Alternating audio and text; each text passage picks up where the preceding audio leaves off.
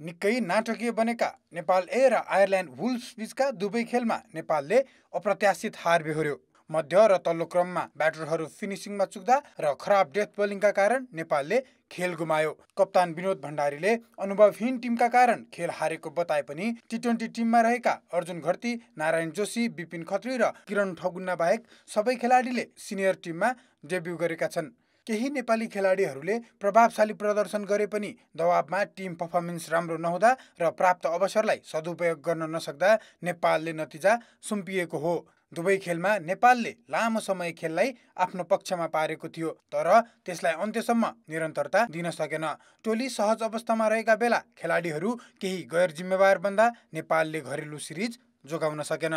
अलिकति pressure handle गर्न चाहिँ गाह्रो भयो कि जस्तो लाग्छ मलाई चाहिँ अब यङ केटाहरू हो होइन अब खेल्दा खेल्दै त्यो आउँछ बिस्तारै आउँछ टाइम लाग्छ होइन। किनकि अब आजको भोलि पनि चेन्ज हुँदैन क्रिकेटमा त्यति सजिलो पनि छैन होइन। अब हाई स्कोरिङ गेमहरू हो हाई स्कोरिङ गेममा प्रेसर पनि त्यो रहिरहेको हुन्छ भित्र खेल्दाखेरि चाहिँ। अब गेम त खेलेपछि त जित्नको लागि नै खेल्ने हो होइन। अब त्यही पनि हामीहरू अब जसरी हुन्छ एउटा गेम चाहिँ जित्नुपर्छ टी ट्वेन्टीको चाहिँ सोचिरहेको छ टेस्ट टोली आयरल्यान्ड ए टिममा समेत अधिकांश खेलाडी अनुभवी छन्। नेपाल ए भने दोस्रो पटक विदेशी टोलीसँग सिरिज खेल्न लागेको हो।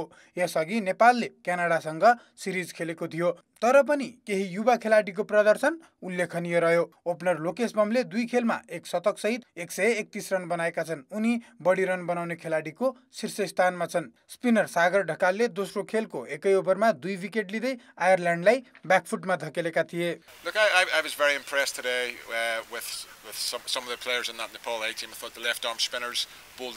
good pace, didn't give you a chance to free your arms and targeted the stumps. Um, look, T20 cricket can change very, very quickly. It can change in an over. You saw that when we were against the cost a little bit. We lost quick wickets and PJ Moore took down the off spinner for 20 plus. अब नेपाल सोमबार series clean sweep हुन नदिने लक्ष्य सहित मैदान उत्रनेछ यस्तो अवस्थामा कप्तान विनोद भण्डारी सहित लोकेश बम देव खनाल र आरिफ शेखको ब्याटिङ उल्लेखनीय हुनेछ सागर ढकालको स्पिनसँगै कमल सिंह ऐरी र राशिद खानको प्रदर्शन राम्रो हुनु आवश्यक छ यसबाहेक अन्य खेलाडीले पनि परिस्थिति अनुसार खेल्न सके नेपालले पक्कै पनि अन्तिम टी ट्वेन्टी जित्नेछ टी ट्वेन्टी सिरिजपछि दुवै टिमले एक दिवसीय सिरिज खेल्नेछन्।